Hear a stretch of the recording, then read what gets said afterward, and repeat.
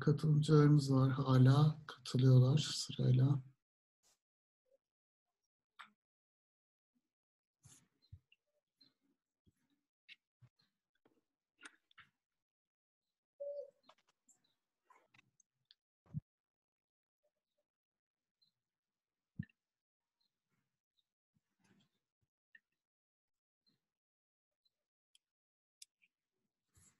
Evet.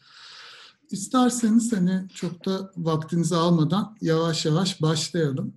Ee, öncelikle herkese hoş geldiniz diyorum. Oldukça kalabalığız. Ee, zannediyorum birkaç dakika içerisinde sayı da artarak devam ediyor. Daha da kalabalıklaşacağız. Ee, bu kadar büyük bir kalabalığı bugün burada görmek e, hepimizi çok mutlu etti. Biliyorsunuz zorunlu bir evden çalışma dönemi geçiriyoruz hep beraber. E, bu e, normal bir evden çalışmadan birazcık daha farklı. Uzaktan çalışma diyebileceğimiz e, pratiğin ötesinde bir e, zorluğu var.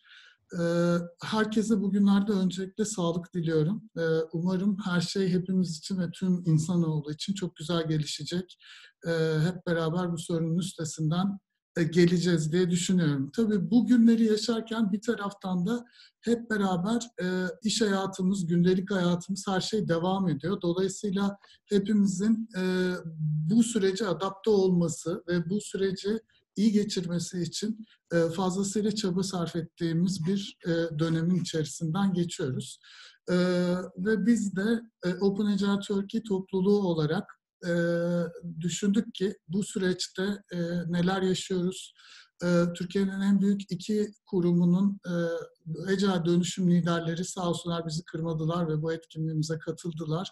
E, onlarla bu yaşadığımız süreç içerisindeki tecrübelerini ve buraya kadar gelen e, salgın öncesi tecrübelerini konuşacağız bugün hep birlikte.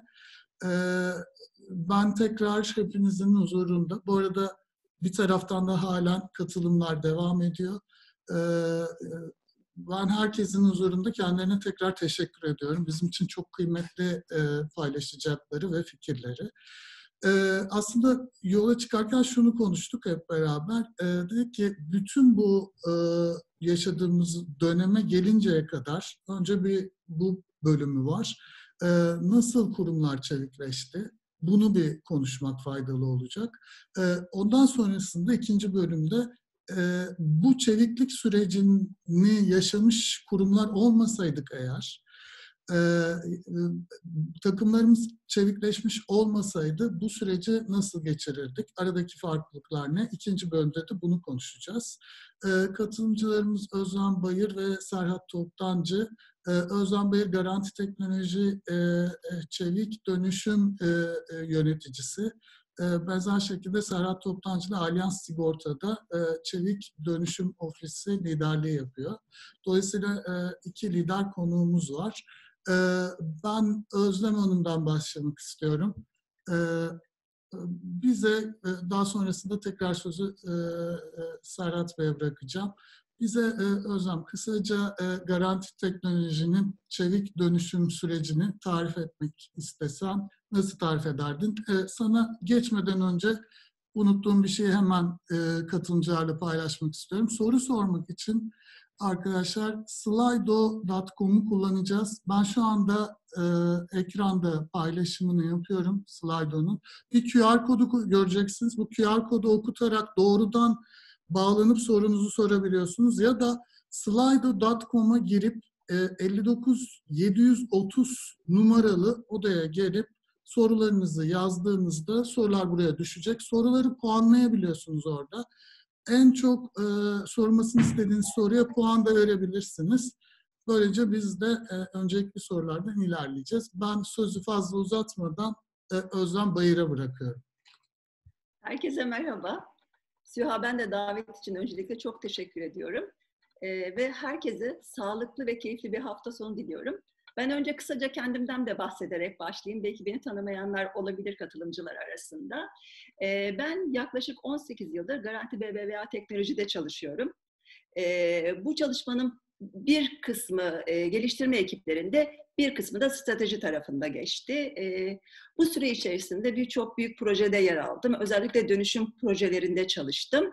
E, son dönemde de özellikle Garanti BBVA'nın dijital dönüşümüne ilişkin programlarda hem teknoloji tarafında hem de banka tarafında yöneticilik görevlerinde bulundum.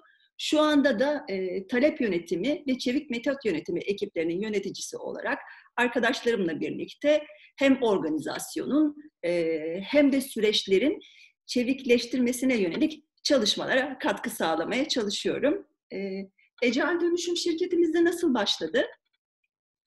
Ecel Dönüşüm şirketimizde e, başlamadan önce aslında e, üç soru kritik oldu. Biz gerçekten neden ecel dönüşüm istiyoruz?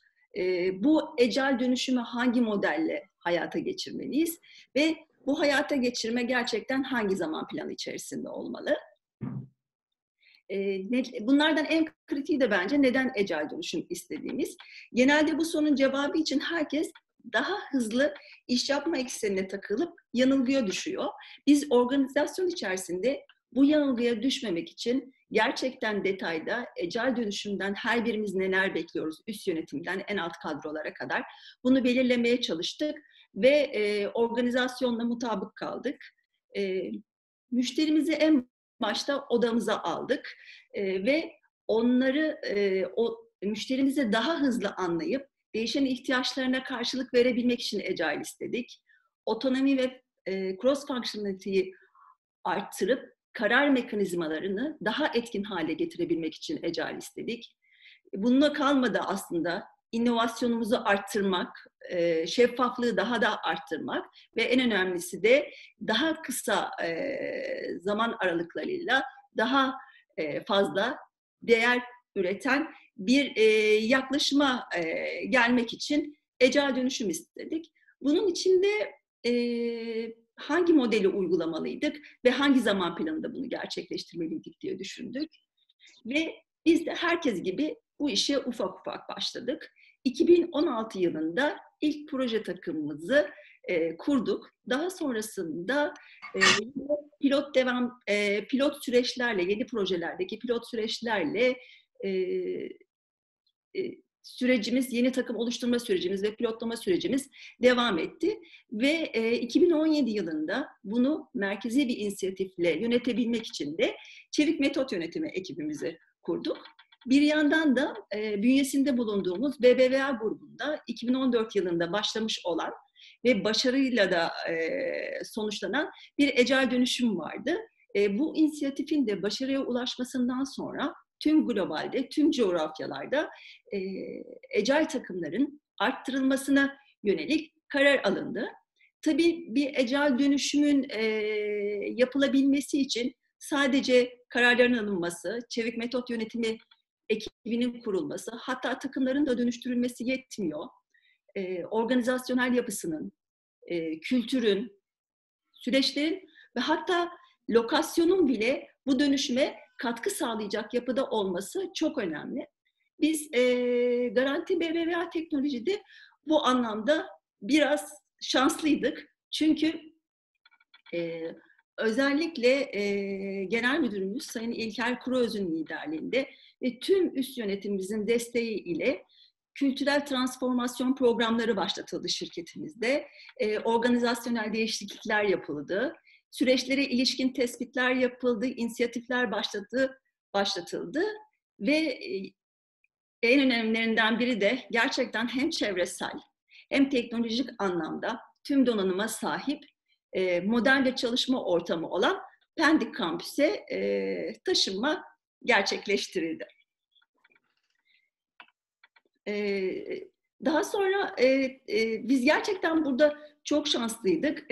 Özellikle liderleri e, dönüşüme ve değişime hazır olmayan e, kurumlarda ecel dönüşümden bahsetmek biraz zor olabilirdi. Biz burada e, hem üst yönetimimizin desteğini ve e, güvenini güven, bir yandan ben de soruları görünce soruyor odaklanıyorum ekranda. Ben soruları e, toplayıp, evet, toplayıp soruları e, paylaşacağım. O yüzden hani devam edebilirsin. Biz şanslıydık. E, üst yönetimimizle e, birçok inisiyatif başlatıldı. Aslında Ecel için ortam e, hazır hale getirildi. Biz aslında yapılan tüm bu çalışmalarla adım adım ecel değerlere yaklaşmış olduk ve 2018 yılıydı diye e, hatırlıyorum. Öyle bir aşamaya geldik ki e, artık hem üst yönetimin desteği hem de sahadaki yüksek e, ecel dönüşüm motivasyonuna kayıtsız kalamadık ve tüm iş alanlarında dönüşümü başlatmak için e, bir plan yapmaya başladık. Bunun içinde kadromuzu yapılandırmamız gerekiyordu. Ecel ko- e, ka- koç sayımız bunun için yeterli değildi. Bunun için de e, 4-5 ecel, tecrübeli ecel koçumuz vardı. E, dışarıdan sektörde tecrübesi olan, sizlerle ilgili biri de Süha bunlardan bir tanesi. Evet. İki danışman ecel koç arkadaşımızı kadroya kattık. Bunun yanında organizasyonumuzun içerisinde tecrübesi olan, organizasyonu iyi tanıyan e, ve Ecel Koç yetkinlikleri yüksek arkadaşlarımızla kadromuzu genişlettik. Bu arkadaşlarımız BBV Global'in organize ettiği Madrid'de gerçekleşen yaklaşık 3-4 haftaydı sanıyorum. 3 haftalık bir Ecel Koç eğitim programına katıldılar. Dönüşlerinde de e, sıkı bir shadowing programı uyguladık. Tecrübeli Ecel koçlarımız da yaklaşık 2 aylık bir süre shadowing süreci e, geçirdikten sonra da e, dönüşüme dahil olup hem gelişimlerini sürdürmeye hem de dönüşüme katkı sağlamaya başladılar. Ben, e, biz aslında bu yapılanmayla hem danışmanlık e, hem danışman koçlarımız da belki bunu söylemekte fayda var. Danışman koçlarımız bizle e, dedike ve tam zamanlı olarak birlikte çalışıyorlar. Bunun gerçekten önemli bir etkisini gördük. Çünkü bu çalışma modeliyle tamamıyla ecel koç kadromuzun kendi içimizde olması e, bize hem danışmanlık ve hem eğitim desteği anlamında e, bağımlılıkları yok etti ve dönüşüm yolculuğundaki hareket kabiliyetimizi çevikleştirdi. Bence üst yönetim desteğine ek olarak ikinci e, öne çıkan unsur da bu diye düşünüyorum. E, şu anda e, 209 takımımız var. Bu da gerçekten e, sektörlere baktığımızda gerçekten en yüksek sayılardan birisine sahibiz diye düşünüyorum. E, çalışmalar oldukça keyifli gidiyor. E, 2020 yılında da daha hala dönüşümü devam eden ekiplerimiz de var. Biz delivery ekipleri dışında e, mimari, altyapı ve iletişim ekiplerini de dönüşüme dahil ettik. E, operasyon ve uygulama güven, e, güvenlik ekiplerimizin de dönüşümlerini planlıyoruz paralelde. 2020 yılında da odağımızı e, takımlarımızın ve organizasyonumuzun olgunluk seviyesini yükseltmeyi sağlayacak çalışmalara çevirdik. E, ve bununla ilgili arkadaşlarımız araştırmalar ve çalışmalar yapıyorlar. Bunları e, hayata geçirmeye başladık. Özellikle şu günlerde de gündemimizde maturity e, assessment ve empowerment programları var. Paralelde de bir yönden e, süreçteki, süreçlerimizin çevikleşmesiyle ilgili çalışmalara devam ediyoruz. Ya tabii bunlar hep güzel, kulağa hoş geliyor. Hiçbir sıkıntı yaşamadık, hiçbir problem yaşamadık. Tabii ki yaşandı. E, kimi zaman bilgi eksikliğinden kaygıdan, e, kaynaklanan kaygılardan dolayı, kimi zaman da e, egolardan dolayı, ortaya çıkan egolardan dolayı problemler gündeme geldi. Ama bunu gerçekten hem Agile Office olarak hem de kurumumuz olarak, organizasyon olarak tüm problemleri birlikte sahiplendik. Birlikte çözüm aradık ve çözerek ilerliyoruz. Bu çalışma modeliyle de devam ediyor. Biz gerçekten e, Garanti BBVA teknolojide ecel prensiplerini temel alarak kendi framework'ümüzü oluşturduk. Yatayda ve dikeyde tüm paydaşları e, business'tan e, müşterilerimiz de dahil olmak üzere bu framework'e dahil ettik ve dönüşüm yolculuğumuza da One Team olarak devam ediyoruz. Peki, çok teşekkür ederiz. Ee, ben dediğim gibi soruları daha sonra e, vakit kaldıkça bir toparlayıp e, yansıtıp sizlere ileteceğim ama şimdi hemen e, ara vermeden Serhat'tan rica edelim. Ecel dönüşüm yolculuğu Alyans Sigorta'da nasıl başladı, nasıl ilerledi? Ee, sevgili Suha, öncelikle davetiniz için çok teşekkür ederim. Ee, tüm katılımcılara sağlıklı günler, iyi bir hafta sonu dilerim. Ee, ben de çok kısaca kendimi tanıtayım. Yaklaşık 15 yıldır sigorta sektöründeyim ve Allianz'da çalışmaktayım. Ee, sırasıyla direkt ve banka kaynaklı satış, kurumsal satış, iş geliştirme, transformasyon projeleri, strateji ve kanal yönetimi gibi farklı şapkalarda çalışma imkanım oldu benim de.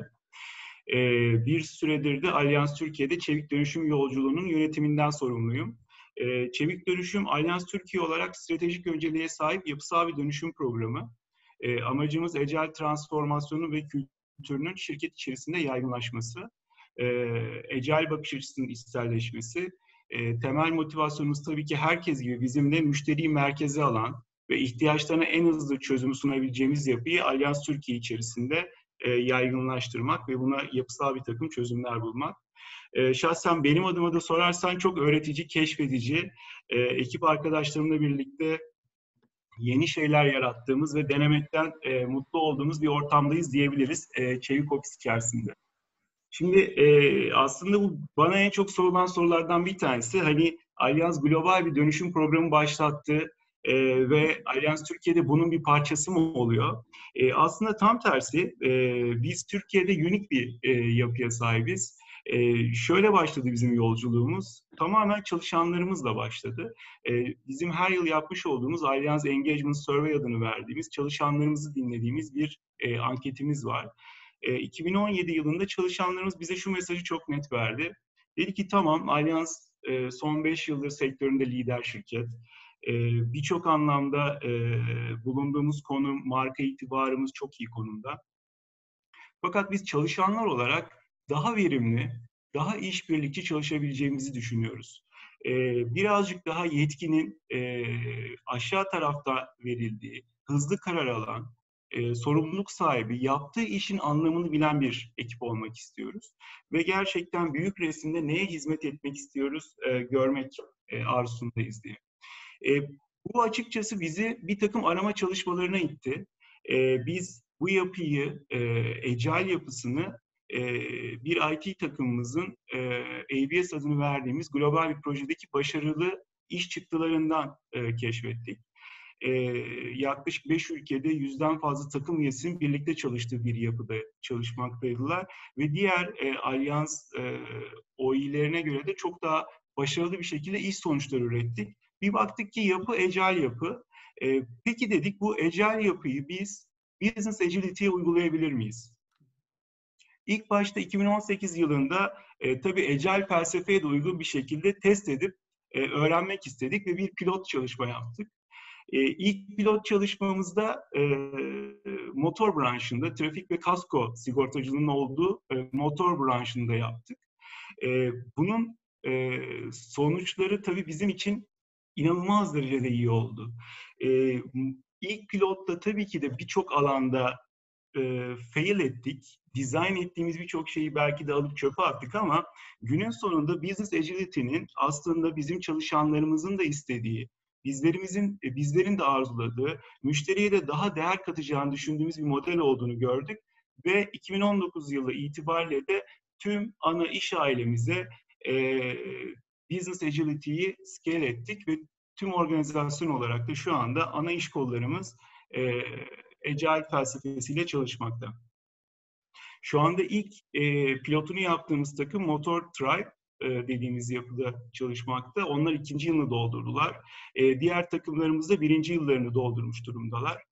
E, şu anda da ajandamızda destek fonksiyonlarımız e, ve operasyon takımlarımız var. Hani şunu söyleyebilirim, risk ve uyum takımı gibi, hukuk gibi ekiplerimiz de artık Ecel çalışıyor.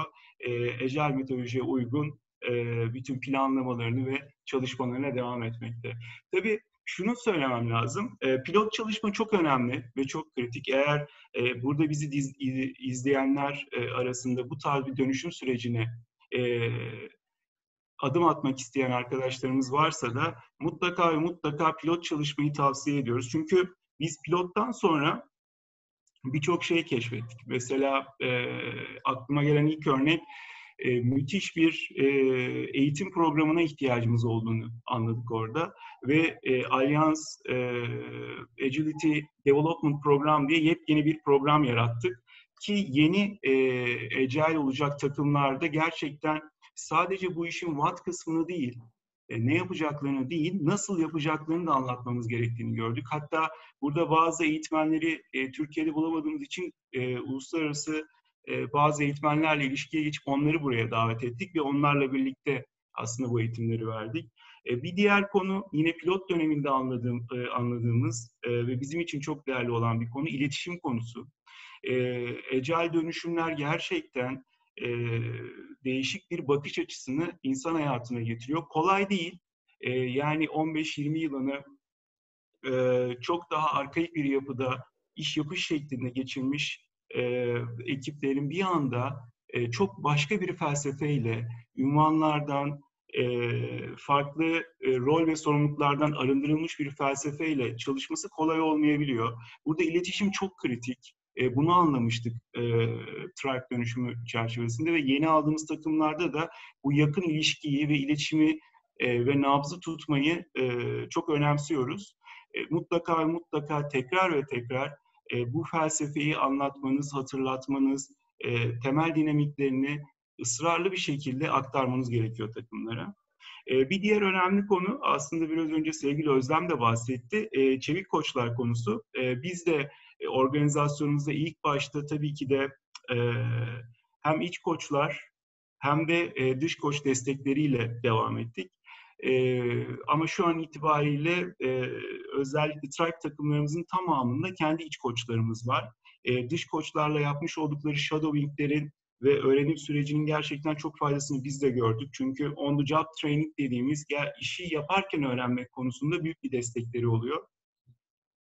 E, bunu söyleyebilirim ki e, iç koçların olması da kurum içi e, business agility anlamında çok önemli. Özellikle ve özellikle deneyimli takım e, liderliği yapmış koçlar e, hem şirketinizin kurum kültürünü biliyor hem de gitmek istediğiniz yolu e, ve felsefeyi anladığı için onların aktarması çok önemli oluyor. Bunu da sizlerle paylaşabilirim. Şimdi bu dönüşüm sürecinde hiyerarşiden arınmış, ünvanların olmadığı, sadece rollerin olduğu bir organizasyonel yapıya dönüştürdük e, Alyans Türkiye'yi. E, herkes e, SUKAT'ın üyesi, e, tüm takım SUKAT'tan iş alabilir e, ve bir e, işin gerçekten sahiplenicisi olmak konusunda sorumluluk sahibi olduğu bir yapıya çevirdik. E, mesela en basitinden şunu söyleyebilirim. Eskiden organizasyonel e, yapımız e, N-7 seviyelerindeyken e, bu dönüşüm sonrasında N-3'lere kadar gelmiş durumda. Yani en ünvan olarak en aşağıdaki arkadaşımız da Alyans Türkiye CEO'su arasında sadece 3 e, e, kademe var. E, bu gerçekten e, çalışanların sözlerini, kendilerini ifade etmeleri için çok değerli bir platform ve ortam sunuyor. Şapkaların e, Business Agility'de özellikle e, birbirinden öğrenen takımların bir arada çalışması çok değerli. E, burada e, bizim yapımızda e, cross-functional çalışan farklı disiplinlerden arkadaşlarımız e, squadlar içerisinde çalışıyorlar. E, burada pazarlamadan, e, müşteri deneyiminden, ürün tarafından, e, yazılım tar- ekiplerinden arkadaşlarımız çalışıyor. Biz squat'ımız yaklaşık 9 ila 10 kişilik e, ekiplerden oluşuyor. E, squat'ları kurarken de bu squat'ların tamamen ve tamamen bağımsız, e, başka bir birime bağımlı olmadan çalışması e, felsefesiyle kuruyoruz. E, her bir squat'ımız neredeyse tamamen dedike bir şekilde motivasyonu, kendi iş çıktısını kimseye bağımlı olmadan üretebilmek. Bunun için de yazılımcı ve iş analisti arkadaşlarımızla takımların içerisinde ki bir ürünün fikir aşamasından, bir ürünün veya hizmetin fikir aşamasından implementasyonuna kadar geçen süreçte kimseye bağımlı olmadan rahat bir şekilde hareket edebilsinler diye. E, tabii kazanımlarımızdan bir tanesi de şeffaflık oldu. Onu da paylaşmak isterim. E, bilginin organizasyon içerisinde açık bir şekilde dağılması e, ve paylaşılması e, gerçekten çok büyük bir kazanımdı bizim için. E, çünkü takımlar içerisinde hem cross-functional, e, farklı alanlardan, farklı yetkinliklerden gelen arkadaşlar birbirlerine kendi iş aileleriyle hakkında bilgi veriyorlar. Gerçekten çok motive edici. Bir yazılımdaki bir arkadaşımızı işte iş ailesiyle ilgili bir bilgilendirme yaparken görebiliyorsunuz. Çünkü birbirlerinden öğrendiklerini her geçen gün görüyorsunuz. Bir ikinci konuda bu şeffaflık, birlikte iş yaparken birlikte planlamak, e, sonuca birlikte gitmek, sonuç sonrasında da birlikte e, değerlendirmek konusunda da bir şeffaflık yaratıyor. Baktığınızda arka taraftaki e, bütün iş yükünü, backlog'u çok net ve e, rahat bir şekilde tüm takım e, yapacağı işleri planlayarak ilerleyebiliyor. E, bir diğer önemli noktada e, ekiplerdeki arkadaşlarımızın yaptığı işin e, anlamını, e, nereye dokunduğunu e, gördüğünü ve kendisini daha ait hissettiğini e, gördük e, bu dönüşüm sürecinde ecel çalışırlarken. E, bir diğer artımız da tabii bu bütün takımların içerisinde farklı fonksiyonlardan, yazılımdan tutun da işte e, pazarlama tarafına kadar farklı fonksiyonlardan ekipler oluşturunca hızlı sonuçlar üreten e, iş e, sonuçlarıyla karşılaşmaya başladık. Bu da bizim için çok önemli ve değerli. E, çünkü e, arada böyle benchmark ettiğimizde eski yapıda çalıştıklarım çalıştığımızda e, bir ürünü çıkarmak için sizin farklı farklı e, noktalara temas etmeniz gerekirken ki bu bazen e, Allianz gibi işte Garanti Teknoloji gibi büyük şirketlerde e, haftalardan daha çok ayları bile bulabiliyor. E, bu yapıda end-to-end baştan sona kendileri dizayn ettikleri için süreci çok daha hızlı bir şekilde e, iş sonuçları ürettiklerini gördük. Çok net şunu söyleyebilirim. 3-4 ayı bulan eski çalışma e, şeklimizde 3-4 ayı bulabilecek ürün ve hizmet geliştirmelerinin bazılarını 2-3 sprint gibi e, 6 haftalık periyotlara kadar düşürme e, imkanımız bir diğer önemli nokta da kazanımımız noktasında aslında kendi kendini değerlendiren ve performans yönetimini çalışanlarımızın product owner'lar, chapter lead'ler, agile koçlarla bir araya geldiği bir performans yönetim şekline çevirdi. burada da ekiplerimizin organizasyon yapısı içerisinde product owner, chapter lead, agile koç gibi e, farklı şapkalardaki arkadaşlarımızın bir araya geldiği, tüm takımı değerlendirdiği, çok daha şeffaf bir şekilde performans sonuçlarını açıkladığı e, bir yapıya çevirdik. E, ki bu da bizim performans e, yönetim alanında gerçekten çok e, farklı bir uygulamamız olarak hayata geçti. E, baktığımızda Türkiye ve dünyadaki en büyük e, dönüşümlerden birini imza atmış durumdayız. Özellikle sigorta e, sektöründe e, tüm iş e, ana iş ailelerini çevirmemiz e, gerçekten e, fark yaratan bir e, uygulama oldu. Yaklaşık 30'dan fazla yurt içi ve yurt dışı şirkete benchmark e, olmuş durumdayız. E, bütün bu hikayenin başlangıcı tabii çalışanlarımızdı. E, biz tabii bu hikaye e, transformasyon sürecinin ilk aşaması tamamladıktan sonra onlara sorduğumuzda yine Allianz Engagement Survey üzerinden e, şunu gördük, mutlulukla söyleyebilirim. Ortalama çalışan memnuniyeti 6 puan kadar arttı. E, Agile'a geçmiş olan e, Tribe adını verdiğimiz ekiplerde. E, bu bizi çok mutlu etti. E, yaklaşık 2000'e yakın e, açık yazılmış e, yorumu tek tek okuduğumuzda da e, bugüne kadar hiç negatif bir yorumla karşılaşmadık. Bütün yorumlar Agile geçişiyle ilgili, bu transformasyon ve e, motivasyonumuzla ilgili hep e, pozitif anlamda e, bize kat, katma değer sağladığını e, iletti çalışanlarımız. Temel motivasyonumuz Allianz olarak da 2021 sonuna kadar tüm ana iş ailelerimizin yanında operasyon ekiplerimiz, e, destek fonksiyonlarımızla birlikte Allianz'ın çevik çalışan bir yapıya e, dönüşmesi. E, bunun gayesiyle şu anda çalışmaktayız. Harikulade. Çok çok teşekkür ederiz paylaşımlar için. Sorularımız geliyor. Bu arada bir hatırlatma tüm katılımcılarımıza. Sorularınızı e, slido.com üzerinden ya da şurada basitçe şu QR koda tıklayarak e, ulaşabileceğiniz slido.com'dan sorabilirsiniz.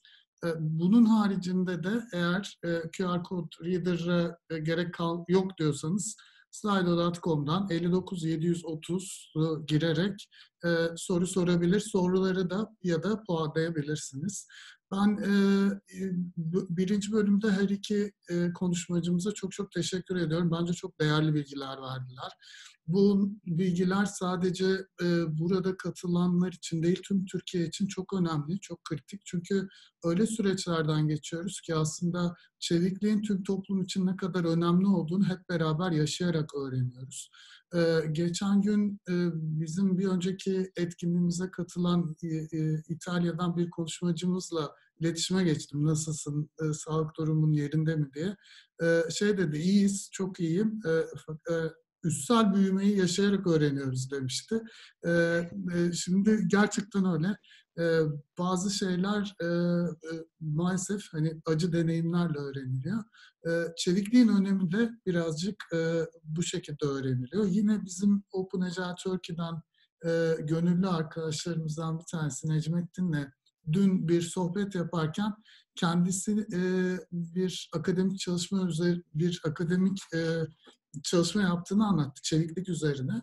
Bu çalışmada da aslında bunun üzerine konuşuyorduk biraz ve bana çok güzel bir fikir vardı. Fikir şu, Agile Manifesto'da şimdiye kadar biz e, hep e, bu manifestonun e, maddelerinden bir tanesi şunu söylüyor. Bireyler ve onların arasındaki etkileşim süreçlerden ve tool'lardan, kullandığımız tool'lardan daha değerli ve önceliklidir diyor. E, şimdi ama bugün geldiğimiz noktada e, bireyler ve arasındaki etkileşimi sağlayan şeyler tool'lar olmaya başladı. Süreçleri bir kenara bırakıyorum. Dolayısıyla iletişimin farklı bir boyuta geçtiği günler yaşıyoruz. Bu günlerle ilgili sizlere sormak isterim. Yine Özlem'den başlayarak. Bu sıra dışı günlerde, yaşadığımız bu sıra dışı günlerde takımlarımız çevik olmasaydı eğer ve biz eski geleneksel yapılarımızda kalsaydık neler değişirdi? bu değişiklikler olumlu mu olurdu, olumsuz mu ya da e, kıyaslarsak nasıl bir kıyaslama yapabiliriz?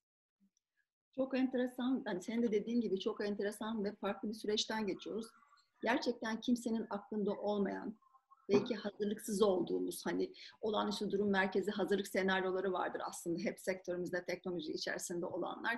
Ama hiçbir zaman pandemiyle ilgili bir senaryo kafamızda olmaz o test süreçlerinde. Ee, ve e, bu iş başladığında başlangıçta hani ne yapacağız, nasıl olacak? dediğimiz bir dönemde bir iki gün içerisinde, bir iki gün içerisinde hep birlikte remote yaşama geçtik. Aslında bir yandan da bakınca e, çalışmalarımıza da kesintisiz devam eden şanslı sektörlerdeniz aslında. Bir yandan da evlerimizde çalışmamızı aynı hızla devam ettiriyoruz. Tabii e, şöyle bir baktığımda e, hem Ecel Koç arkadaşlarımdan hem de sahadan aldığım feedbackler doğrultusunda bizim arkadaşlarımız, e, Ecel takımlarımız neredeyse bu çalışma düzeninden hiç etkilenmedi e, ilk günden yüksek motivasyon ve e, şeyle e, gerçekten sorumluluk anlayışıyla koordine oldular.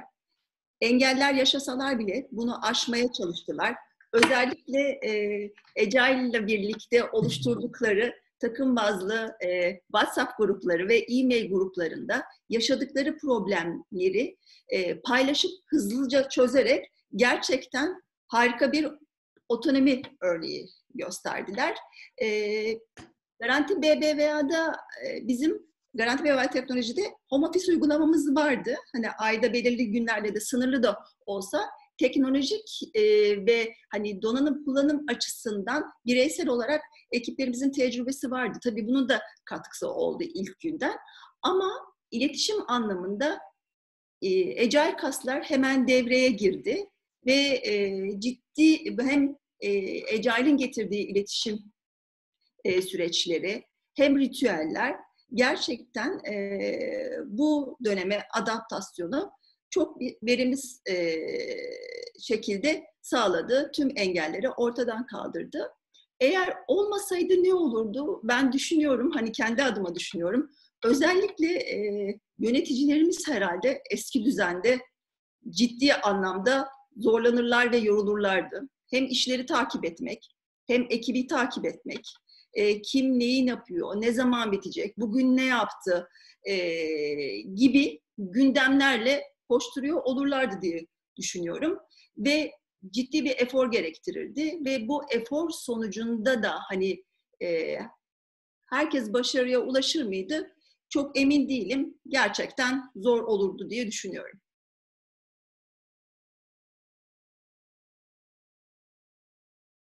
Tabii bir yandan da bu dünya ile birlikte aslında e, bir şeyleri de değiştirmek zorunda kaldık. İşte senin de bahsettiğin gibi bazı temel prensiplerimiz vardı. Aslında bir şeyler de değişiyor aynı zamanda. Kırmızı çizgilerimiz vardı. Mesela e, işte bu iletişim yöntemi, fiziksel board, hani özlüyoruz gerçekten. Hani bu dönemde de kesinlikle hani e, zaman zaman yokluğunu arıyoruz. E, ekipler de ihtiyaç duyuyorlar. Bunu da e, içeride Agile takımlar için e, internal olarak geliştirdiğimiz bu Agile tool'umuzda çözmeye çalışıyoruz ve yeni dönem ihtiyaçlarımızı da gözden geçirip bunları da önceliklendiriyoruz ve takımlarımızın kullanımına sunmayı hedefliyoruz. Bizde durumlar böyle. Peki, çok teşekkürler. Ee, Serhat, e, senden de e, alabilir miyiz? E, neler düşünüyorsunuz, yaşıyorsunuz, tecrübeleriniz neler? Tabii ki. Şimdi sevgili Özlem çok güzel özetledi. Ee, onunkilerin dışında ne söyleyebilirim? Ben onu düşünüyorum aslında. ee, şu çok önemli tabii. Şimdi bu konuyu gerçekten e, düşünmek ve tasarlama şansınızın olmadığı bir konu bu. Yani herhalde Bill Gates dışında bilen yokmuş böyle bir ihtimal hayatta. Ee, doğal olarak e, buna hazır ol, olduğumuzu e, yani hazır mıyız değil miyiz biz yaşayınca anladık. Onu çok net söyleyebilirim. Ama şunu çok net e, yine ifade etmek isterim. E, çevik çalışan takımların adaptasyonu fevkalade iyi oldu. E, bu çok net. Yani e, birincisi şuradan başlayalım isterseniz. Takımların e, hayatlarını böyle uzaktan devam ettirebilmeleri için tüm süreçler yani ettirebilecekleri tüm süreçler zaten Agile'de var. Yani bizim yeniden bir şey tasarlamamıza gerek kalmadı. Hani seremonilere şöyle baktığınızda bile hani takımın birlikte grooming yapması, işte planlama yapması, review'larını yapması, e, gün içerisinde daily'leriyle e, bütün o e, gidişatı ölçümlemesi, en sonunda işte retro yaparak gelişim alanlarını e, ortaya koyması bir kere bütün seremoniler aslında uzaktan çalışma e, koşullarına e, sahip olduğunu gösteriyor. Tabii ki birkaç oynamalar yaptık biz de Çevik Ofis olarak ama geçenlerde bir e, uluslararası webinara katıldım. E, orada da yine e, bizim gibi işte ecel dönüşümden sorumlu kişiler vardı. Orada bir küçük bir anket yapıldı. E, %75'i e, seremonilere e, çok minor dokunuşlarla e, devam etmişler. Yani bu şunu gösteriyor. Ecel felsefenin içerisindeki uygulamalar aslında uzaktan çalışmaya ve otonomiye uygun. E, çünkü şöyle bakalım, e, birlikte backlog'u şeffaf bir şekilde tartışma imkanınız var. Yani bu şu demek, büyük resme hizmet etme noktasında ne yaptığınızı biliyorsunuz. Bu çok önemli bir şey. Çok şeffaf bir şekilde bir takım oyuncusu, bir takım üyesi e, backlog'da ne yapacağını ve bir sonraki backlog'da neleri e, ortaya çıkaracağını görebiliyor. Birlikte takım tasları önceliklendirebiliyor. Aynı takım e, çapraz yetkinliklere sahip olduğu için işte iç, takımın içerisinde gerçekten o takımın ana hizmetine, ana amacına uygun takım üyeleri yer aldığı için e, doğal olarak kimseden, e, kimseye bir bağımlılığı olmadan takım kendi halinde iş çıktısı üretebiliyor. Baştan sona sorumluluk zaten takımda ve içerisindeki product owner'da. Doğal olarak product owner ve e, takımın hizalanması iş çıktısı üretmek için gayet yeterli olabiliyor. E, zaten e, takımın bu pulse check dediğimiz e, o nabzını ölçmek, e, bir takım sorunları var mı onları ortadan kaldırabilmek için zaten ritüelin içinde daily'leri var. Review'lara geldiğinizde takım ana amacını nasıl gerçekleştirdi, neleri başardı, neleri başaramadı, e, yapması gereken e, hangi engelleri aşamadı bunları konuşabileceği bir ortak zemini var. Bunun yanında online olmanın bir takım avantajları var. E, çünkü e, siz işte birden fazla squat'ın olduğu bir tribe'da e, her takımın kendi review'unu diğer bir takımı davet edemeyebilirdiniz. Ama şimdi online olduğunda hizalanmak anlamında e, diğer takımların review'larına da girebilme, e, onları da dinleme ve e, yine büyük resimde nerede olduğunuzu, hangi amaç için çalıştığınızı görebilme imkanınız var. E, diğer tarafta e, bizim organizasyonumuzda tabii e, modellenmiş bir yapı. E, tribe liderlerimiz, yani organizasyondaki bu fonksiyonları yöneten e, arkadaşlarımız, e, tribe liderlerimiz aynı zamanda da icra kurulu üyesi. Doğal olarak bize müthiş bir avantaj sağladı, onu söyleyebilirim. E, ana büyük stratejik e, değişimler, aksiyonların hepsi çok hızlı bir şekilde tribe'lara indi. Ve arada herhangi bir e, modifikasyon olmadan. Şimdi bu iletişim özellikle bu tarz hani e, dağılmış e, işte fiziksel ortamı aynı fiziksel ortamda çalışmayan e, insanlar için müthiş bir e, rahatlık ve kolaylık. Siz direkt ilk ağızdan ne yapılması gerektiğini, hangi stratejik önceliklerin öne alınmasını, hangilerinin geri alınması gerektiğini e, söyleyen e, kişiye e, sadece bir adım yakınsınız. Yani arada hiç kimse yok. Bu inanılmaz derecede bizi hızlandırdı. E, bir önemli nokta da stripe'ların, bizim organizasyondaki stripe yapılarının organizasyonun diğer kısımlarıyla iletişim ve temas noktaları modellenmiş durumda e, doğal olarak organizasyonun bir bütün halinde çalışmasını kolaylaştırıyor bu modelleme. Yani e, doğal, kim, nerede, hangi iletişimi, hangi seviyede kurması gerektiği konusunda e, kasları güçlü olduğu için bizim organizasyonda daha ecel olmamış yapılarla e, herhangi bir sorun yaşamamıza e, sebep vermedi e, bu dönüşüm. E, bence yine çok önemli bir konu bu.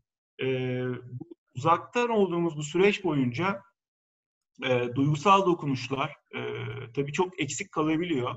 E, fakat tabii Ecail'in içerisinde retrolar, e, geri bildirim kültürünü besleyen o retrolar çok kıymetli. E, bunları mesela online'a taşımamız e, bizim için de farklı bir tat oldu. Hatta şu anda ekip olarak şeyi konuşuyoruz hep.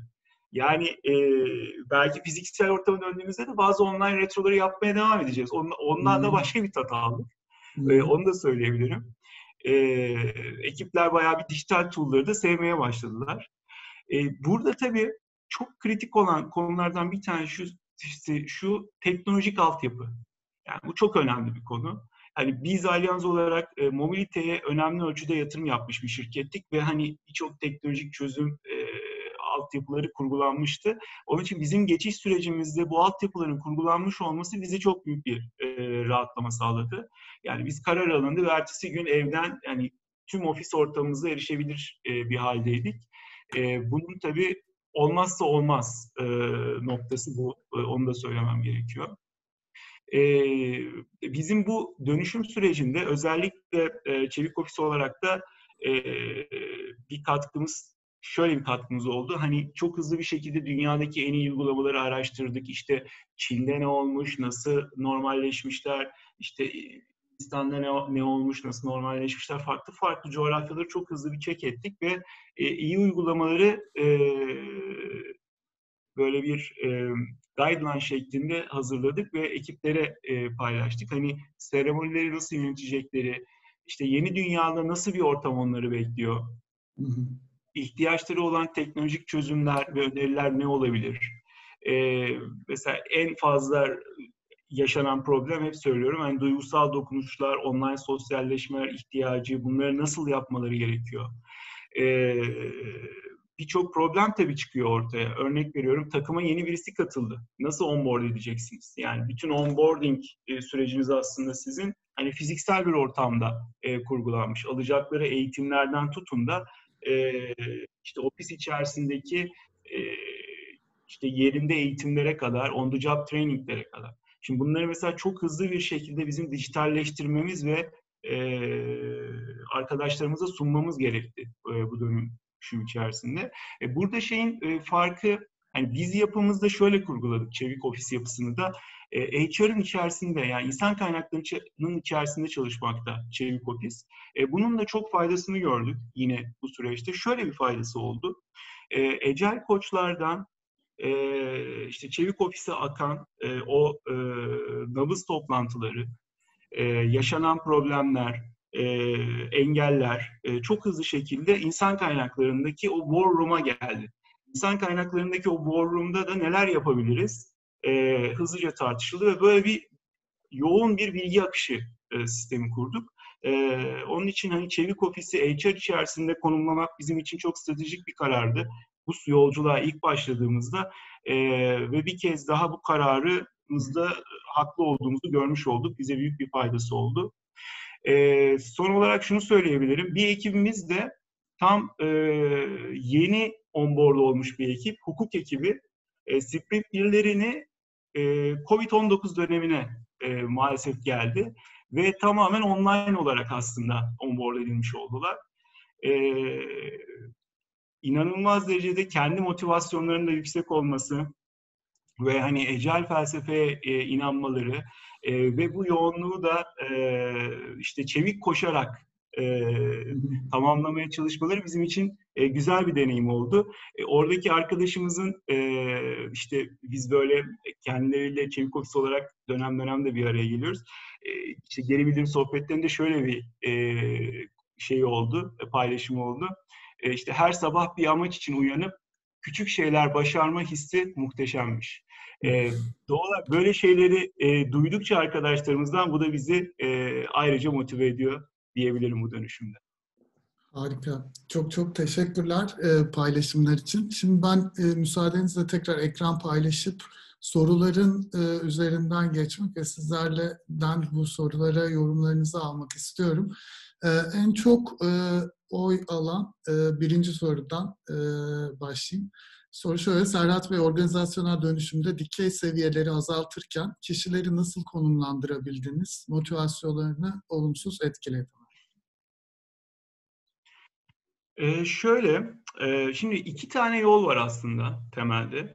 Ee, bir tane yol, işte bir yol hard steering, bir yol soft steering deniliyor e, bu süreçlerde. Hard steering olan da şu, e, deniyor ki işte organizasyonu değiştiriyoruz, işte Agile'e geçiyoruz. Yeni yapımız e, tribe seviyesinde olacak ve layer'ları azaltıyoruz. Bu demek ki apoletleri de çıkarıyoruz. Artık hepimiz bir takım üyesi olacağız. E, fakat her steaming'de şöyle yapılıyor. E, siz e, buradaki yerlere aday oluyorsunuz. Eğer assessment'lar sonucunda e, buraya uygun görülmezseniz de e, artık o işte şirkette çalışmıyorsunuz. Bu yöntemi yapan şirketler var. Şimdi biz alyans olarak soft steering dediğimiz yöntemi yaptık. Yani şunu yaptık. Dedik ki bakın bu transformasyonun amacı, arzusu bu. Zaten bu alyansın engagement survey'inde hani sizlerden gelen ve sizlerin istemiş olduğu büyük bir değişim. Bizim bunu yapabilmemiz için e, bu takımı bu şekilde hayata geçirmemiz gerekiyor. Bunu yaparken de sizin eksik olduğunu düşündüğümüz e, ihtiyaçlarınız var. Bunlar hem ecel felsefede yapmanız gereken e, daha çok böyle e, what kısmına dokunan, neyi yapmanız gerektiren ve nasıl yapmanızı gerektiren e, ihtiyaçlar. Biz bunları yapabilmeniz için de size müthiş bir eğitim programı sunacağız.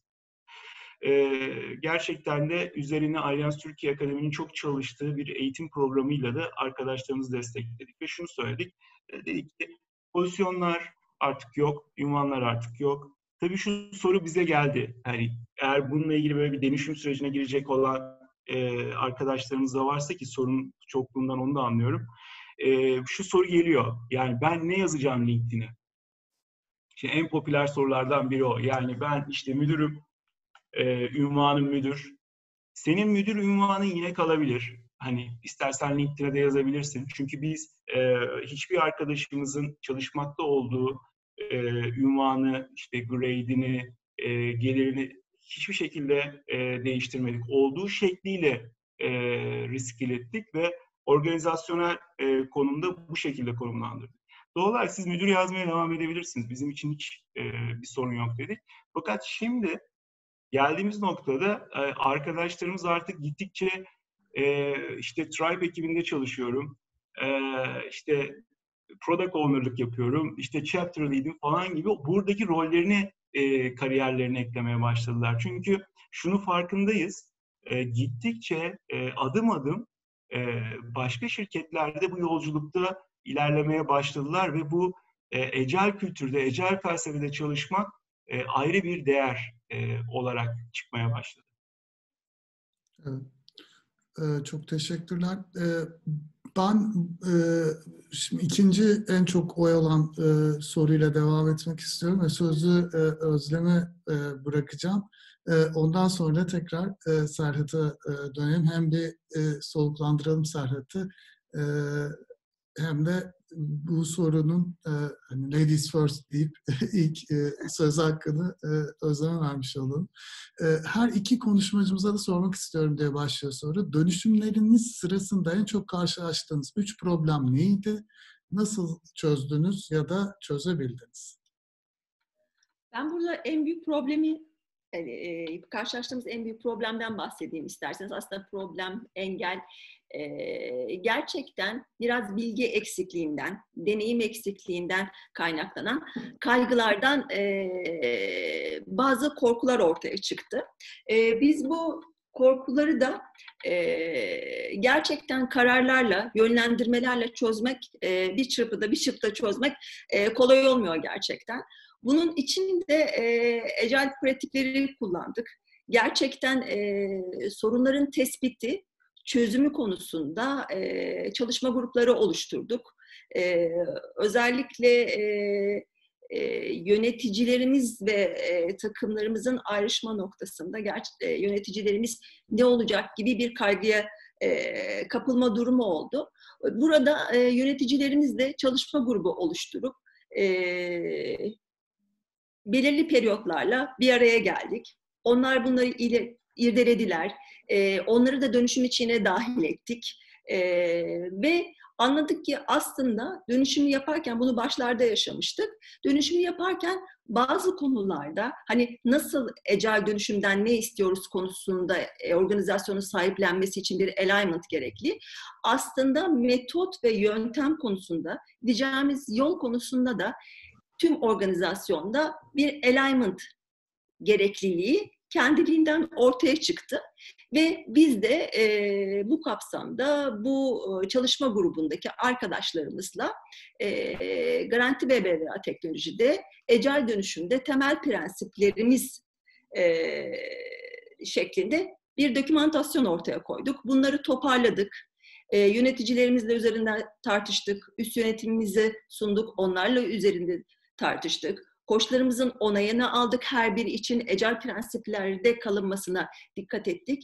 Takımlarımıza sunduk, takımlarımızla üzerinden geçerek onların feedbacklerini aldık ve e, bu çalışma gruplarıyla e, ortaya çıktığımız bu çıktıyı gerçekten gerekli zamanı ayırarak birim birim interaktif bir şekilde karşılıklı soru cevap seanslarıyla herkese e, çevik metot yönetimi olarak aktardık. Gerçekten hani bu insanların içine hem biraz gönül rahatlığı verdi, hem e, kafalarda başkalarının e, düşünceleriyle oluşmuş mışlar muşlar e, bunlarla ortadan kalktı ve ciddi bir alignment sağlayarak, sağlam bir temel atarak dönüşüme devam ettik.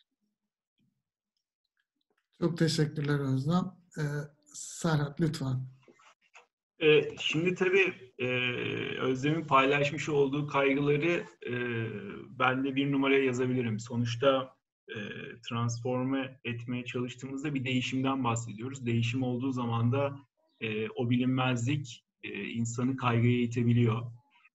Şimdi bizim aslında bütün bu kaygıları ve problemleri en çok yaşayan ekibimiz e, o pilot sürecinde iki yıl önce bu yolculuğa çıkan Motor Tribe ekibimizdi. Şimdi biz oradaki o e, problemli alanları iyi tespit edip e, gerçekten problemleri de çözüm e, önerileri sunmaya başladığımızda açık söyleyeceğim diğer tribe'larımızın dönüşümünde e, neredeyse çok çok az bir e, problemle karşılaştık. Çünkü artık organizasyon şeyi biliyordu. Hani ne yapılmaya çalışılıyor, amacı ne, e, biz de öğrenmiştik e, organizasyona bunu nasıl daha iyi anlatabileceğimizi ve işte ortaya çıkacak olan kaygı e, verici problemleri nasıl çözebileceğimizi. Onun için iki yönlü bir öğrenme süreci bu. Yani bir taraf bunu dönüştüren ekibin, hani işte çevik ofis ise çevik ofis, bir proje ekibi ise proje ekibi dönüştüren ekibin e, gerçekten şeyi anlaması, e, organizasyondaki bu dönüşen e, ekipteki insanların problemlerini anlaması e, bu, bu ciddi anlamda zaman alan ve e, üzerine düşünülmesi gereken bir yer. E, diğer tarafta tabii ki bu çözümler. Yani karşılıklı bir öğrenme süreci oluyor. En önemli konulardan bir tanesi aslında hizalanma konusu. Şimdi bunu tüm organizasyona bir anda yapamıyorsunuz. E, adım adım e, transform etmek durumundasınız. E, doğal olarak hizalanma problemleri olabiliyor. E, en fazla yaşadığımız e, problemlerden bir tanesi bu diyebilirim. E, sonuçta e, sprint bazlı koşan, yani bizde sprintler iki haftalık, işte konsantre bir şekilde koşan, e, end-to-end e, bir işi çözmekle yükümlü e, bir ekip yapısı kuruyorsunuz ve onlar çok motive bir şekilde gidiyor. Ama organizasyonun geri kalanında e, hala e, işte tabii oradaki alışık olmuş metodolojiye göre e, belli e, iş yapış şekilleri var. Bunları ortak bir dilde e, buluşturmak zor. E, onu söyleyebilirim. E, bununla ilgili ne yapıyoruz? E, bizim e, sync toplantılarımız var. E, belli periyotlarda işte tribe'larla örnek veriyorum satış ekibini sync ettiğimiz toplantılar, işte tribe'larla işte operasyon ekibini sync ettiğimiz toplantılar. Oralarda olabildiğince bu takımların align kalmasını e, sağlıyoruz. E, bazı noktalarda onlar için e, temel raciler kuruyoruz. E, sorumluluğun kimde olduğu, e, işte şeyin icraatın kimde olduğunu belirlediğimiz yapılar kuruluyor. İşte Çevik Ofis genelde buralarda destek oluyor. Bir takım workshoplarımız var. E, orada e, bu tarz işte Agile'e dönmüş takımla diğer takımın yaşamış olduğu problemleri masaya yatırıyoruz. Bunların içerisinde e, sorumlulukların kimde olduğunu, bunların nasıl çözülebileceğini e, ortaya çıkarıyoruz ve onun e, üzerinden bir guidance gibi ilerlemelerini e, istiyoruz. E, bir üçüncü konuda şunu söyleyebilirim. İletişim boyutu. E, yani eğer böyle bir takım dönüşümüne girecekseniz e, iletişim gerçekten çok kritik. Bu en üst seviyedeki yani e, şirketin liderlerinden en alt e, organizasyona yeni girmiş bir arkadaşınıza kadar bu iletişim bacağının çok detaylı olarak çalışılması gerekiyor. Çok çok kritik. E, her e, ya belki şunu söyleyebilirim ben e, yani bunu yöneten e, bir kişi olarak da e, tek, kendinizi artık tekrarlaya tekrarlaya devamlı aynı şeyleri söylerken e, bulabilirsiniz. E, ama bundan kesinlikle vazgeçmemiz lazım. Çünkü e, dönüşümü içselleştirebilmek kolay bir şey değil. Onun için her platformda bulundukları ofis ortamı, dijital ortam, e, kendi e, buluşma noktaları her yerde hep e, aynı iletişimi tekrar tekrar yapmanız gerekiyor. E, ki insanlar hani o e, değişimi içselleştirmek yönünde e, adım atabilsinler. Bir önemli nokta da bu içselleştirme e, açısından.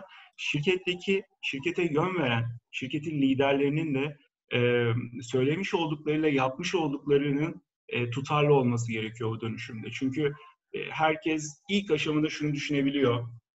Bunu çok e, gördük karşılıklı konuşmalarımızda. E, yani bu bir proje belki de başarılı olmayacak. Neden destekleyeyim? Ama arka tarafta gerçekten şirket liderleri, üst yönetim e, bunun arkasında durduğunu gösterip e, ve buna uygun da davranışlar göstermeye başlıyorsa e, insanların bir birleştiğini ve gerçekten bu işi e, desteklemek yönünde hareket ettiğini e, gözlemledik bu süreçte. Çok çok teşekkürler. Ben sorulara tekrar döneceğim. Ee, izninizle çok kısa bir e, duyuru tüm katılımcılara yapmak istiyorum. Biz bir e, OpenAgile Türkiye olarak bir anket de düzenliyoruz. Yine COVID-19'un iş hayatımıza etkisini araştıran bir anket. Çok kısadır anket, çok fazla vaktinizi almaz. openagileturkey.org adresinde girdiğinizde hemen bir linki var ve erişebiliyorsunuz. Ben birazdan e, buradan toplu bir e, ulaşabileceğiniz linki de paylaşacağım herkese. E, bu anket de bizim için önemli. Şunu anlamaya çalışıyoruz aslında. Bugünkü toplanmamızdaki e, nedenlerden bir tanesi de o. E, e, Covid-19 öncesindeki dünyamız nasıldı, nasıl bir dönüşüm yaşadık, neler yaptık? E, Türkiye'nin en büyük iki kurumundan bunları dinledik. Ve e, bu salgından sonra neler değişti hayatımızda, e, ne önemler aldıklarından bahsettiler. Ve bunu anlamaya çalışmamız aslında nedeni biraz da şöyle. E, hepimiz aslında bir bir şok halinin içinden geçiyoruz. Yani e, yavaş yavaş gelen, e, geleceğini daha önce Çin'den e, bize göz kırpan, anlatan, e, çok uzak dünyanın bir başka köşesindeki bir ülkede e, yaş- olabilecekleri bize daha önce bir film gibi izleten bir salgın e, adım adım e, ses getire getire ülkemize geldi. Ve hatta e, çevre ülkelerde e, varken salgın bizde yoktu. E, biz baya böyle yavaş yavaş e, bunun geleceğini bile bile e, e, salgın geldi ve hayatımızda ve iş hayatımızda da haliyle ciddi değişikliklere neden oldu. Şimdi bu bir yavaş gelen bir şok. Yani uzmanlar aslında şokun daha ani e, yani tarifinin aniden ortaya çıkmasını içinde barındırdığını söylüyorlar. E, Covid-19 biraz öyle değil. Tam olarak şok da diyemiyoruz aslında. Şimdi tabii bu, bu gibi durumlarda herkes ne olduğunu anlamaya çalışıyor. Dolayısıyla hepimizin ilk verdiği tepki ve bütün ecel takımlarımızın ilk verdiği tepki yaşıyoruz, hayattayız, survive ediyoruz. İşimizi olan haliyle devam ettirebiliyoruz ve her şey yolunda oldu. Bu hepimiz için çok önemli bir mesajdı aslında. Takımların bunu vermesi, kuvvetli şekilde dile getirmesi hepimiz için e, kritikti. E, tabii bu mesajı iyi okumak lazımdı. E, çünkü bu o anda verilen ve e, henüz bize bir şey olmadı, hayattayızı barındıran bir mesaj. Bir süre sonra takımlarda aslında e, yavaş yavaş gözlemleyebildiğimiz bazı motivasyon düşüklüklerine e, tabii çünkü herkes uzun süredir evde olduğu için haliyle e, karar gelmeye başladı. Şimdi e, tabii bu süreci neden anlamaya çalışıyoruz? Çünkü e, bu süreç geçtikten sonra inşallah geçecek. Hepimiz sağlıkla bunu atlatacağız. Buna inanıyorum ben. E, geçtikten sonraki hayatımızı merak ediyoruz aslında. E, hem e, sosyal hayatımızı hem iş hayatımızı. Bizim toplumumuzda çeviklikle ilgili olduğu için çevik e, hayatımız nasıl değişecek onu da birazcık merak ediyoruz. Şimdi bu nedenle bu anketi düzenledik. E, herkesin düşüncelerini de alabilmek için. E, o yüzden anket önemli. Ben dediğim gibi birazdan paylaşacağım e, şeyi, linkini, katılabileceğiniz linki. Şimdi bu anlamda tekrar ben konuşmacılarımıza dönmek isterim. Önümüzdeki dönem ile ilgili çelik takımlardaki beklentileriniz neler? Neler değişebilir? Ee, yani bu e, salgın geçip ofise döndükten sonra bazı değişiklikleri olabilir mi? Neler düşünüyorsunuz?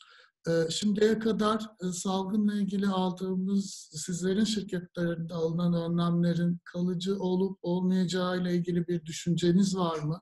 Ee, veyahut ne gibi önlemleri aldınız? Birazcık daha bize paylaşırsanız. Sonra eğer vakit kalırsa tekrar Slido'ya dönüp oradan da sorular size soracağım. Ee, Özlem seninle yine başlayabiliriz. Tabii gerçekten aslında büyük bir bilinmezlik var. Bunlar birazcık ee, şeyden, e, niyetten öte biraz gidemeyecek belki fikirler olacak. E, zor bir dönemden geçiyoruz ve gerçekten kontrol altına alma ile ilgili daha net bir durum yok. Bir ilaç ya da bir aşı olmadığı için aslında biz normalleşme sürecini bu e, sürece alışarak gerçekleştirmeye çalışacağız. Önümüzdeki dönemde tabii ki ofislerimize dönüş olacak ama belirli kural setlerinde olacak. Özellikle hepimizin son günlerde ağzında olan sosyal mesafe e, kriteri hepimiz için e, önemli olacak. Bu yüzden de ofislere de döndüğümüzde e, remote e, dünyada aldığımız deneyimleri bir müddet daha ofislerde devam ettireceğimizi düşünüyorum. Boardlarımızı örneğin ne kadar özlesek de boardların önüne geçip bir daily'nin tadına e, varamayacağımızı düşünüyorum. E, bunlar bu şekilde gidecek e, ama e, baktığımızda en başta da söylemiştim. Gerçekten sektörümüz en şanslı sektörlerden birisi. Hem çalışmalarımıza kesintisiz devam ediyoruz ve tüm sektörler dijitalleşmek durumunda kaldı. Aslında bizim insan kaynağımıza düşen işler de arttı.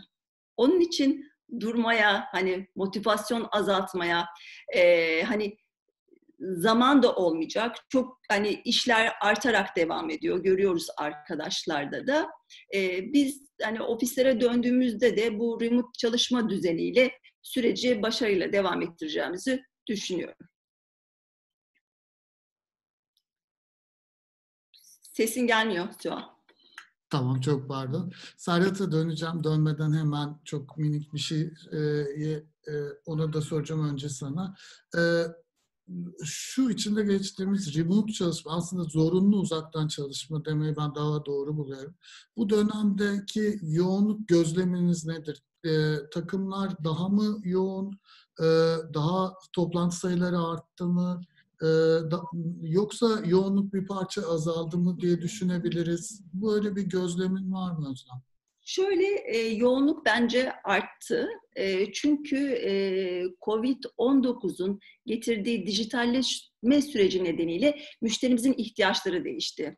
Bunun yanında devam eden yasal regülasyona dayalı işlerimiz vardı. Vazgeçilemeyecek müşteri taleplerimiz vardı. Belki sonuna yaklaştık bırakmak istemediğimiz.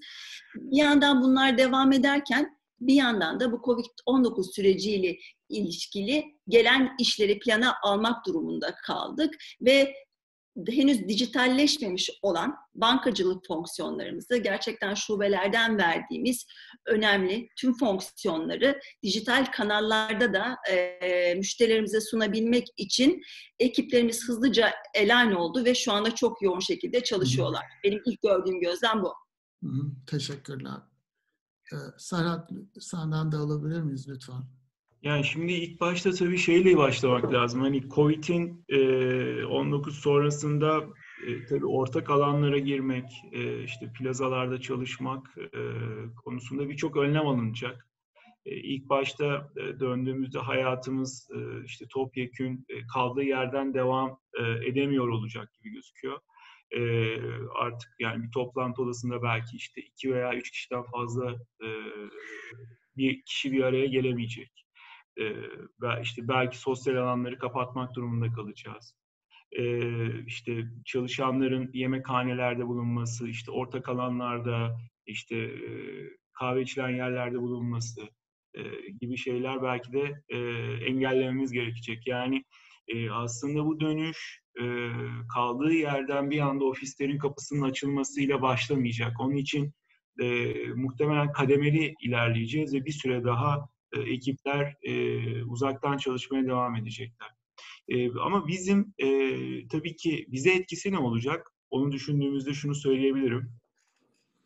E, birincisi biz Agile'da daha dönüşmemiş takımlarımızda da e, bu dönüşüm sürecinde işte senin de söylediğin gibi zorunlu evden e, çalışma sürecinde e, onların da bir takım Agile prensipleri hayata geçirmeye çalıştıklarını gördük. Hı hı. E, örneğin bir takımımız mesela sabahları biz daily yapmaya başladık. E, işte daily'nin e, klasik sorularını sormaya başladık dedi.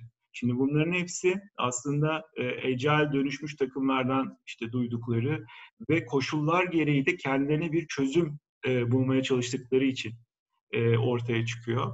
E, bunun bize etkisi çok net, e, çok daha e, hızlı bir şekilde e, genişletme planımızı, e, hızlandırma planımızı e, daha çok takımı hecayla geçirerek ilerleteceğiz gibi gözüküyor.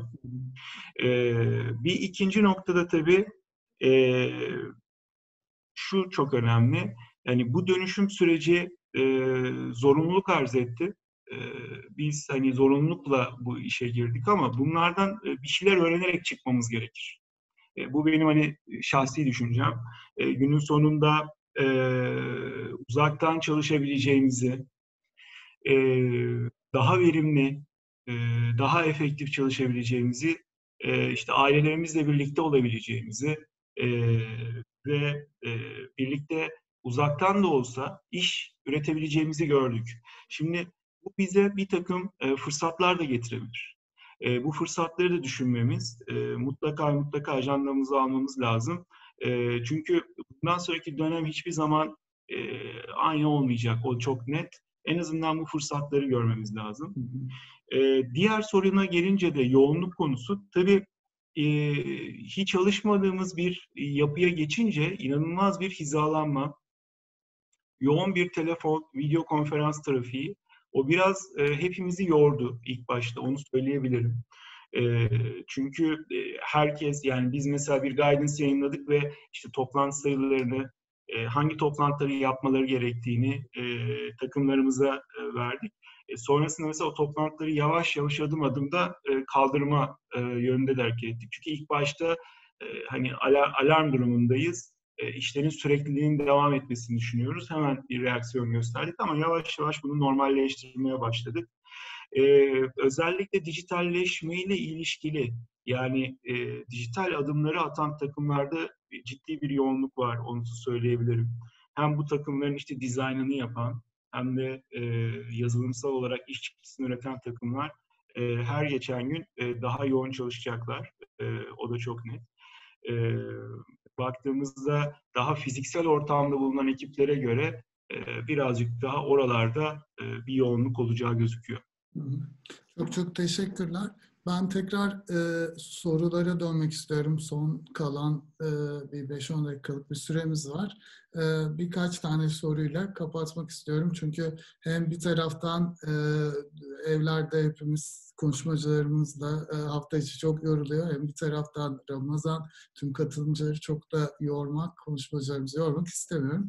Uzatmadan e, buradan chatten yazılan bir soru var. Ben onu e, Özlem'e yöneltmek isterim. E, garanti teknoloji proje yönetiminde her zaman çok hızlıydı. Agile dönüşümünden sonra bu hızı yani talepleri gerçekleştirme hızı yüzde kaç artmıştır gibi tahmini de olsa bir yüzde verilebilir mi?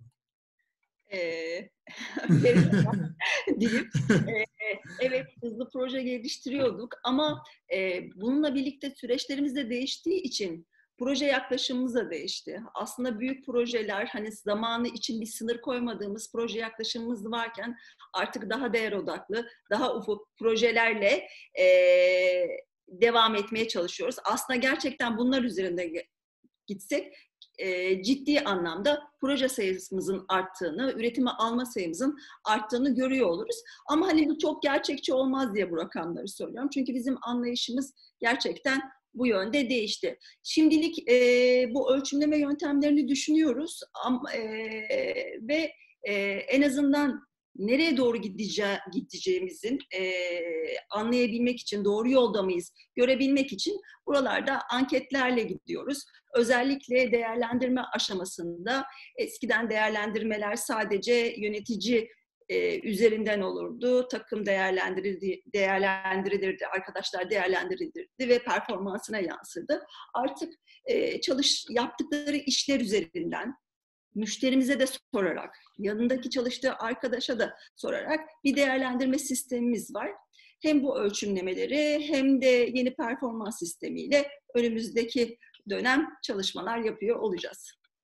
Çok teşekkürler. Şimdi hemen tekrar ben uygulamamızı Slido'yu paylaşıyorum. Orada yine e, çok oy alan e, sorulardan e, Serhat'a yöneltmek istiyorum. E, bir önceki soruya benzer daha genel bir soru olduğu için bu sefer Allianz Sigorta'yı da kapsıyor. Ecel öncesi ve sonrası iş verimliliği açısından bir fark gözlemlediniz mi? Dönüşümün işe katkısı için kullandığınız bir ölçüm tekniğiniz var mı? Ee, şöyle, e, bir kere e, iş çıktısı e, noktasında e, hızlandığımızı söyleyebiliriz. E, bu çok önemli bizim için. E, günün sonunda şöyle e, düşünmek lazım. E, daha öncesindeki e, yapıda e, bir takım e, bir takımın içerisindeki birbirinden farklı e, yapılardan gelmiş insanlar olmadığı için tabii ki de bir ürün veya hizmet çıkarmak istediğinizde e, sizin farklı farklı e, departmanlara gidip o ürünü e, ortaya çıkarmanız gerekiyordu. Bu yaklaşık olarak e, bazen bir üründe e, işte 2-3 ay, ay, ayı bile bulabiliyordu ya da bir hizmette. Şimdi e, işte biraz başta baş tarafta da anlatmaya çalıştığım yapı yani squat yapılarının içerisinde farklı farklı fonksiyonlardan arkadaşlar gelip de e, herkesten bağımsız olarak iş üretebildikleri için e, burada inanılmaz derecede hızlandık. Onu çok net söyleyebilirim. E, çok güzel örneklerimiz de var bununla ilgili. E, bir diğer nokta da bunların ölçümü için de e, tabii belli şeyler kullanıyoruz. Yani işte velocity'lerine bakıyoruz, işte iş çıktılarını e, takip etmeye çalışıyoruz. E, ama yani nihai e, şeyi her zaman müşteri söylüyor e, bizim gözümüzde. E, günün sonunda müşteriye biz hızlı e, servis verebiliyorsak, bu iç müşteri olabilir, dış müşteri olabilir, hiç fark etmez. Hızlı servis verebiliyorsak, gerçekten onun isteklerini ve arzularını ortaya çıkarabiliyorsak, e, bundan da müşterimiz tatmin oluyorsa e, en büyük ölçümleme aslında bizim için bu oluyor. Yoksa birçok metot var yani ölçümleyebileceğimiz. Harika, çok teşekkürler. Son bir soru alıp e, bence yavaştan tamamlayabiliriz. Oldukça fazla puan almış. En yüksek puan alan iki sorudan bir tanesi. Ee, Agile'e geçtikten sonra eski yönetime bağlı kalan, e, adaptasyon zorluğu yaşayan çalışanlarınız ile ilgili aldığınız aksiyonlar nelerdir? E, bu sefer istersen Serhat senle devam edelim. E, son sesi Özlem'e verelim. Tabii ki de. Ee, şöyle, biz transformasyon sürecimizde bir kere onu söyleyeyim. %99.9 tüm ekibimizi koruyarak transforme olduk. Ama bunu olurken çok büyük bir emek harcadık. başta da söylediğim gibi yani arkadaşlarımıza bunun nedenini, amacını, bu dönüşümün bize katacaklarını anlatıp üzerine onların ihtiyaçları olacak eğitimleri, yetkinlikleri onlara vermek yönünde bir motivasyonla hareket e, ve biz bir kayıp yaşamadan bunu sağladık. E, tabii ki zaman içerisinde hani organizasyonun e, kendi turnover çerçevesinde tabii ki de ayrılanlar vesaire oluyor ama bunu e, buradaki arkadaşlarımla da çok rahatlıkla paylaşabilirim. Hani hiç bir yerde bu işte kıdemli olanların buraya alışamadığı bir yapıdan dolayı olmadı. E, onu çok rahatlıkla ifade edebilirim. Bu zaten istemediğimiz bir şey. Yani biz o teknik ekspertiziyle güçlü olan e, ve fark yaratan bir e, şirketiz. O teknik ekspertizi e, koruyarak farklı bir bakış açısıyla e, çok daha e, faydalı ve iş yaratan bir yapıya çevirmek istediğimizden dolayı e, herkesi açıkça dinleyerek, anlatarak, tekrar tekrar dinleyerek ve tekrar tekrar anlatarak e, yaşadıkları problemleri de ortadan kaldırmaya çalışarak e, bu süreci yönetmeye çalıştık diyebilirim. Çok teşekkürler. Ee, son olarak Özlem senden de e, alabilir miyiz? Bizde de durum aslında Serhat'la aynı. Onun için tekrar olacağından onlara değinmeyeceğim. Ama sadece e, herkese zaman ve fırsat tanımak lazım. Bizde de öyle belirlenmiş e, vakalar hiç olmadı. Ama tabii ki dönüşüm kolay değil. Bu bir yolculuk. Kimileri yolculuğun başında adapte oluyor. Kimileri daha ilerleyen dönemlerde adapte oluyor. Herkese hak ettiği zamanı ve fırsatı tanımak gerektiğini düşünüyorum. Buradaki sorunları da, gelişim alanlarını da takımların kendi içinde çözeceğini, çözemediği noktalarda da e, ecel koçlarımızdan e, destek alarak ilerleyerek halledebileceklerini düşünüyorum şu anda bulunduğum organizasyon içerisinde. Harika. Çok çok teşekkürler. Ee, zamanımız e, sonlarına geldik artık. E, maalesef arkadaşlar bütün sorulara yer vermek mümkün değil. Çokça soru geldi ilginiz için. Çok teşekkür ederiz. Ben en yüksek oy alanları ve e, vaktimiz ettiğince diğer sorulara da e, elimden geldiğince yer vermeye de çalıştım. Çok da e, bana göre tatmin edici cevaplar aldık her iki konuşmacımızdan da. Eğer merak edenler hani olursa sorularına cevap almak isteyenler LinkedIn'den de ulaşabilirler. Evet, harika. İnşallah. Evet. Ben de e, aynı şekilde e, istediğiniz zaman sorularınızla ilgili LinkedIn'den paylaşabilirsiniz. E, çünkü Süha son bir şey söyleyebilir miyim için? lütfen, tabii tabii. Ee, Özlem çok güzel bir şey söyledi aslında. Bu bir yolculuk diye. Ee, yolculuk e, kelimesi çok kullanılıyor bu ecel transformasyonda. Çünkü özünde e, şu var. E, hiçbir o yapı e, birbiriyle aynı değil. Yani ecel sadece size bir felsefe, bir bakış açısı veriyor. Yani günün sonunda sizin burada e, mesela işte Allianz'ın operating modelini e, çok rahatlıkla anlatabiliyorum. Çünkü onu alıp da o operating modeli e, kendi yapınıza uygulama şansınız yok. Çünkü her dinamik, e, her yapı kendine özgü ve hep nihai çıktıyı e, sizler görüyorsunuz. Ama aslında o nihai çıktı hem Özlem'in hikayesinde hem işte bizlerin hikayesinde hep aynı. E, o nihai çıktıyı çözebilmek için başka başka problemler ve yepyeni e, belki çözüm metotlarını konuşup en sonunda o e, final halini paylaşıyor oluyoruz. E, onun için bu yolculukta çok e, takıldığınız veya işte e, konuşmak istediğiniz, fikir almak istediğiniz noktalarda bu yolculuğu deneyimlemiş e, insanlarla konuşmak her zaman e, büyük katma değer sağlıyor. En azından ben kendi e, buradaki yolculuğumda onu gördüm. Evet, evet, evet. Çok çok teşekkürler. Gerçekten çok önemli konuları konuştuk bugün. Ee, yani e, ciddi şekilde bir e, iki büyük kurumun e, yaşadığı tecrübeleri e, ve bir taraftan içinden geçtiğimiz süreçteki tecrübelerini e, sizlerden dinledik. Bence çok kıymetli. E, o yüzden tekrar tekrar size teşekkür ediyoruz. Başka ve İnşallah e, böyle fiziki ortamlarda tekrar görüşmek istiyoruz. Sağ olun. Sağlıkla buluşmak dileğiyle diliyorum ben de. Sağ olun. Sağlıklı günler.